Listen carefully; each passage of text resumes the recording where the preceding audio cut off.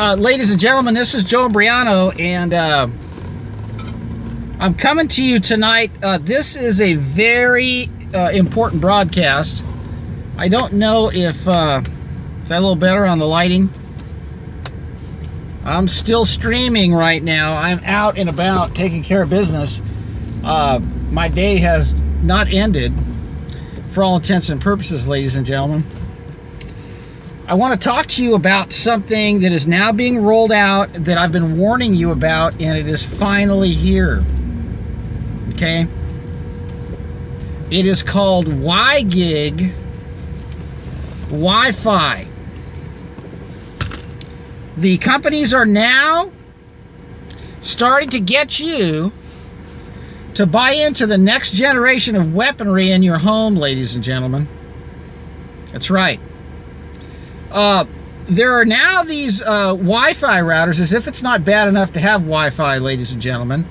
They've got these Wi-Fi routers now that are coming out that have three, four, five, six, seven antennas on them. This is a very important discussion, folks. I need you to get your friends to tune in right now. Um, dealing with a lot of uh, censorship and uh, people wanting to silence my message, intercept my mail, uh, all kinds of things people do not want me getting through to you folks with. But I'm here to talk to you tonight about the WiGig, the tri-band Wi-Fi WiGig home internet routers. They are truly a weapon, folks. WiGigDangers.com. W-I-G-I-G Dangers.com. That is the new generation of home Wi-Fi that is going to use the absorption spectrum of the oxygen molecule frequency. 60 gigahertz, ladies and gentlemen. They're going to be broadcasting in your home with your permission at 60 gigahertz, ladies and gentlemen. Right? Hello. Folks, um, all right. Very important. They're going to be broadcasting using the frequency that the oxygen molecules absorb at, ladies and gentlemen. This is an emergency broadcast. Forget about Alex Jonestein for just a few minutes. I'll try to find a way to re-upload that video. I don't know what happened to it. But I want to talk to you about, uh, I've had several people ask me these questions about what this new Wi-Fi router is with all these antennas on it is. And it is the weapon, folks. 5G is not going to work unless you allow it to come into your house. You've got to have a repeater. You've got to have an access point that runs on 2.4 gigahertz, 5 gigahertz, and 60 gigahertz, ladies and gentlemen. They are going for the oxygen molecules, ladies and gentlemen. That is what is happening. 60 gigahertz is the oxygen molecule absorption spectrum. Your body runs on oxygen. Most of your metabolic processes involving uh, carbohydrate and fats and uh, all these metabolic processes involve oxidation. Oxidation reactions. You need oxygen to run your body, folks. Have you ever tried holding your breath? Every ounce of your being works against you trying to do that. Has anybody ever tried to suffocate you? It's the most horrible experience in the world. That is exactly what 5G is going to do very slowly, ladies and gentlemen. Now, have you noticed all the trees are being cut down?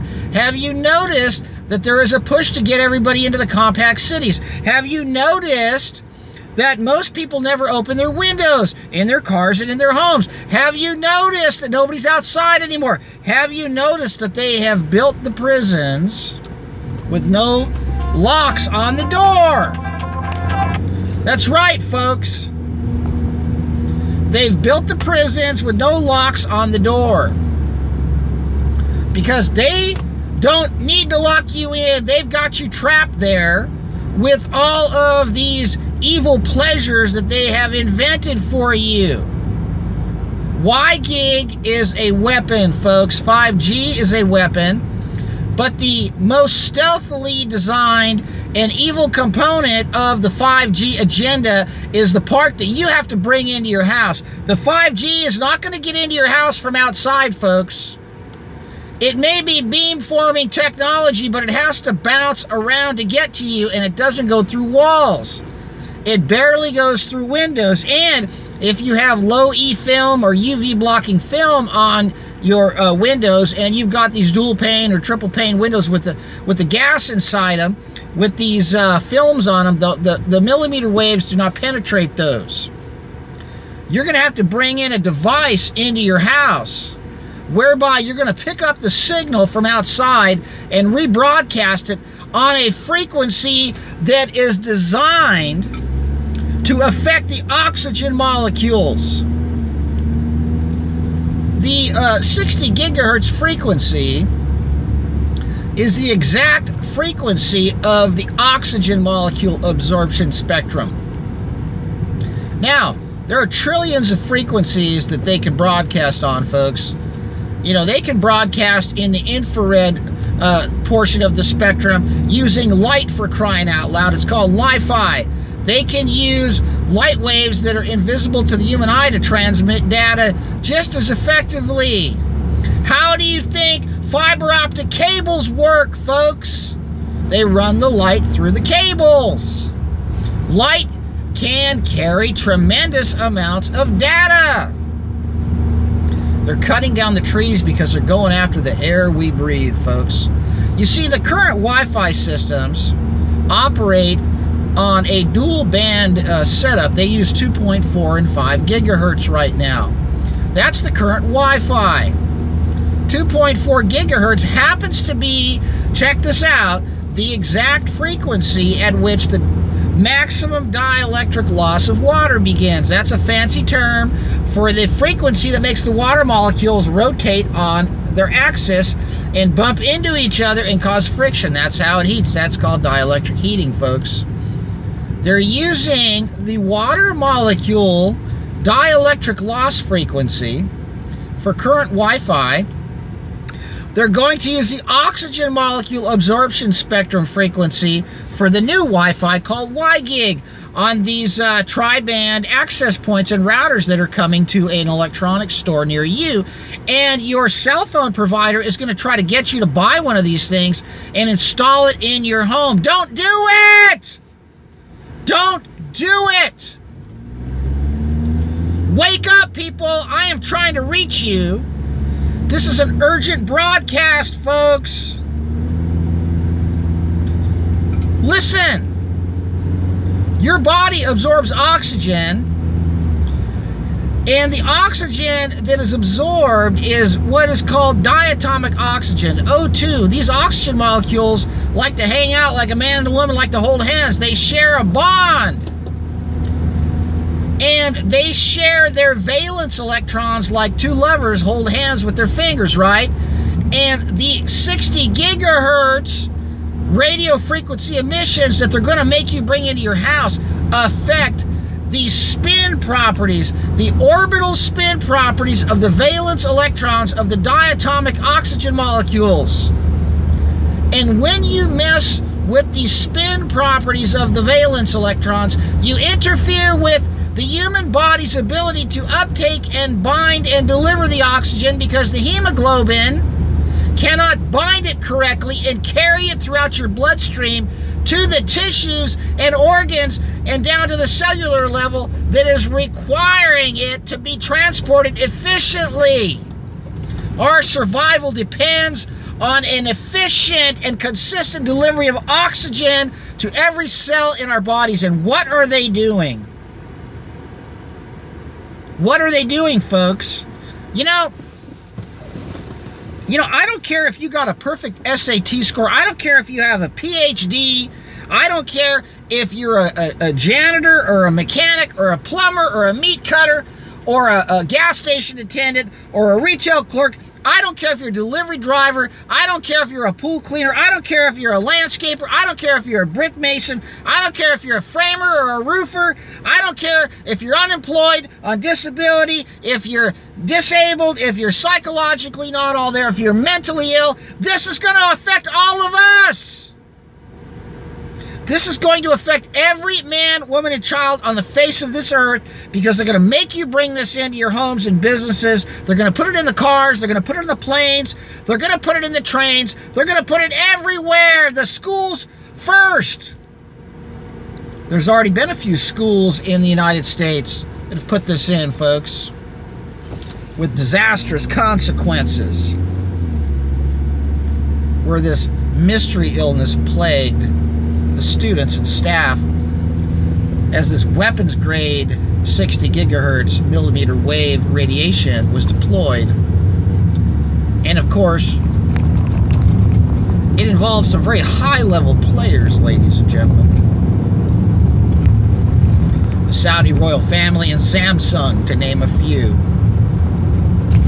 And what happened at this school where this was deployed, unbeknownst to the board members and the staff, is uh, like a military coup takedown of a city or a country.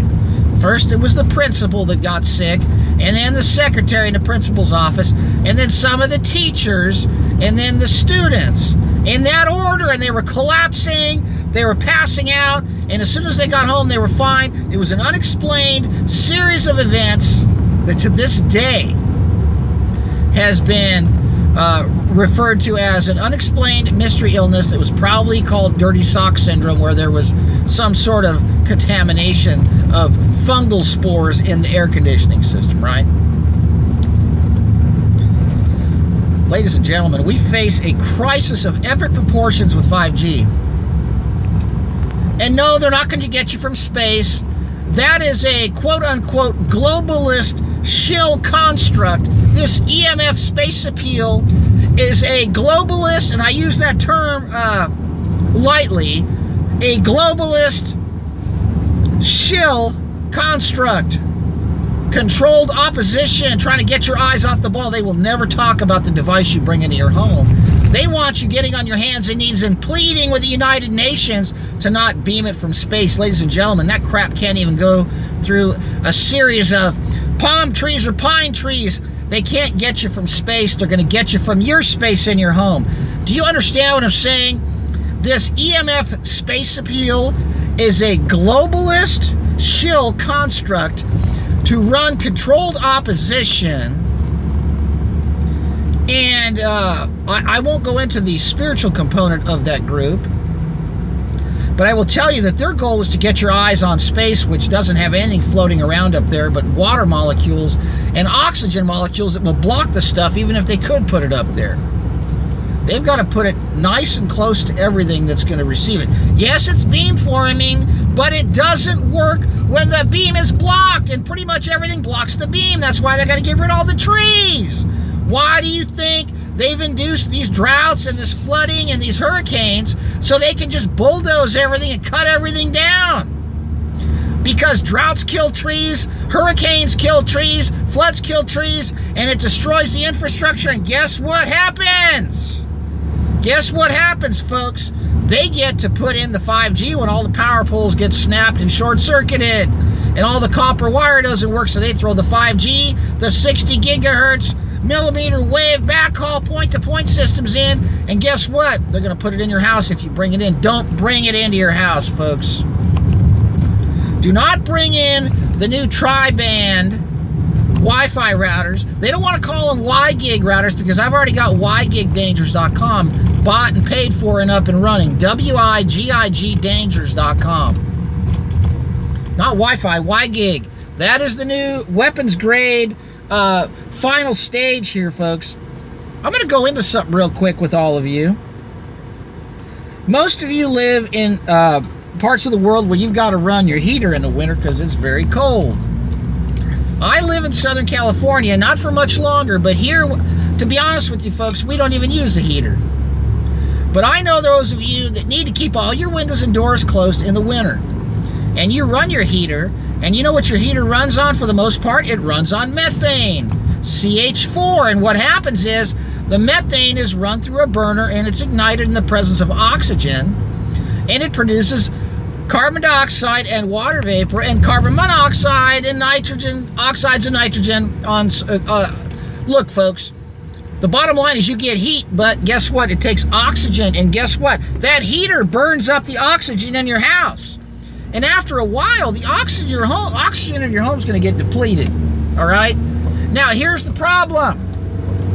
We've got people that are living in these apartments and in these homes with the windows sealed up because it's bitter cold outside and they're running a heater or a wood burning stove or whatever that is burning up and using up all the oxygen in the home and they're exhaling carbon dioxide and the oxygen is not being replenished because they're living in places that there isn't a lot of photosynthesis going on and the air's thin they're at high altitudes with the windows closed up and so they're already oxygen deprived for the most part.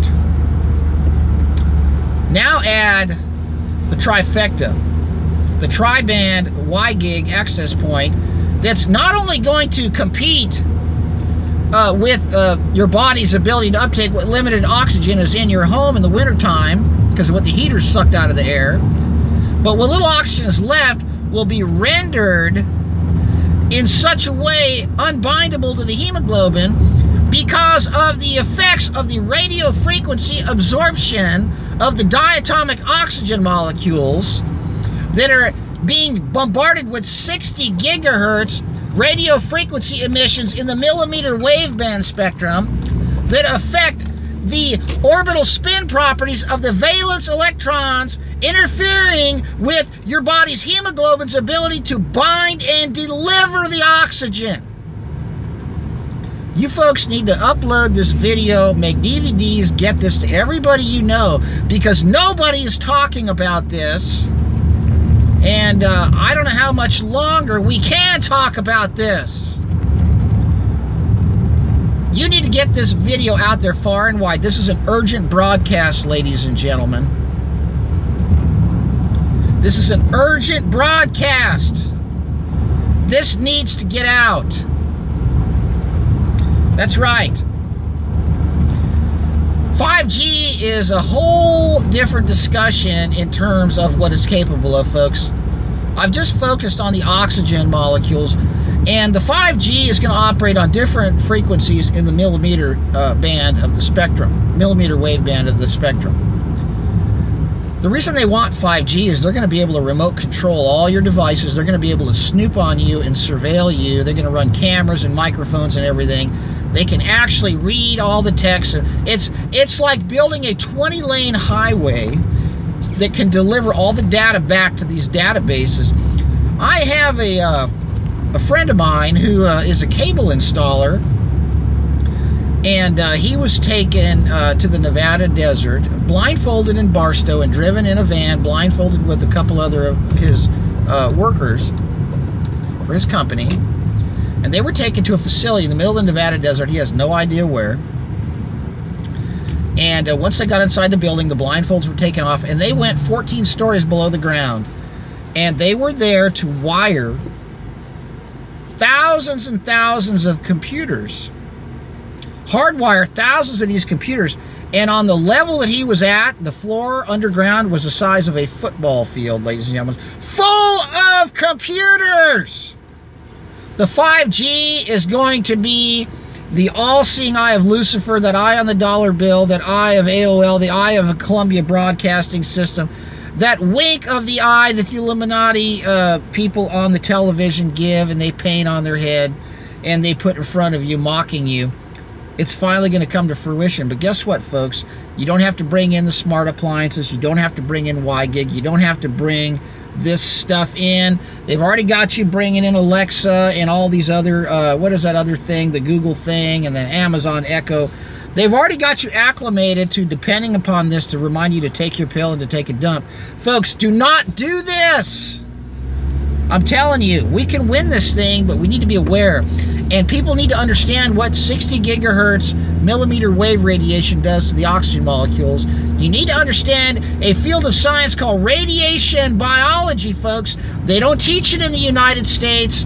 Uh, it is a very well uh, understood field in where? The Soviet Union, right?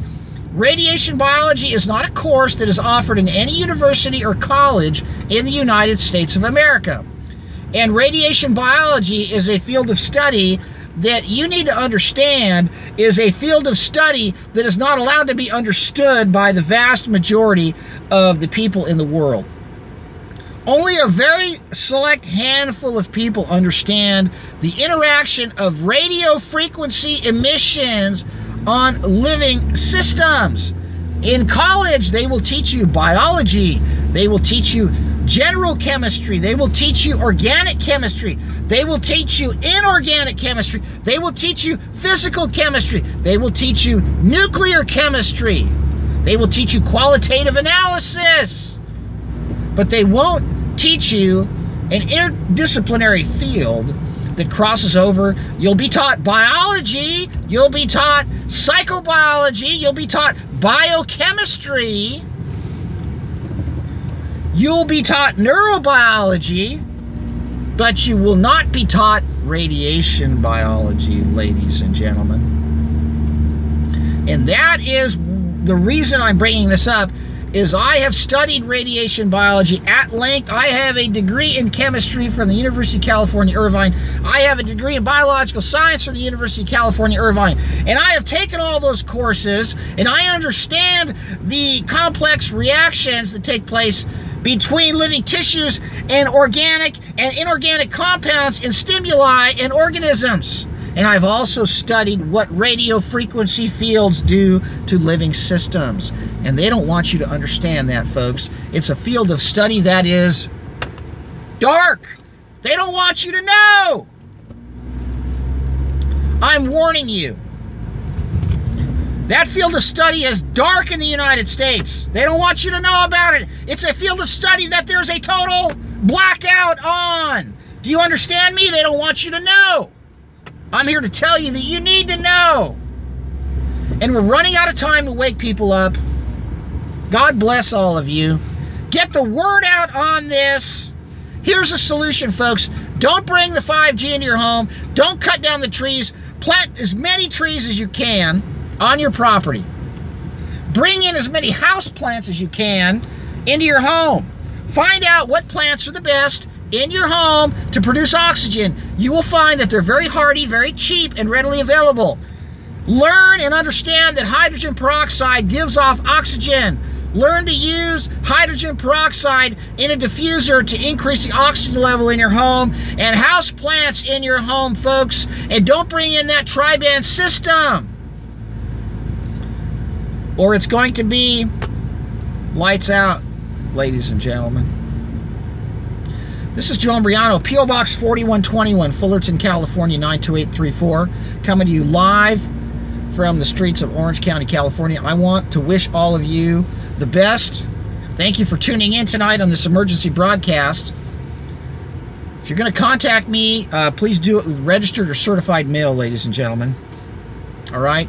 Don't send me anything any other way. P.O. Box 4121, Fullerton, California, 92834. Send it certified or registered and seal it good, and I will get it. And God bless you, because I want to tell you something, folks. I'm putting stuff out there that you're not going to hear anywhere else. This is vitally important information, and I need your prayers, and I need your support, and I need the word to get out while we can get it out, folks because this is a big deal. 5gdangers.com, Wi-Fi-dangers.com, WiGig-dangers.com, VaxDangers.com, CellTower-dangers.com. I run those sites. Help me keep them going. God bless all of you in the name of Jesus Christ, ladies and gentlemen.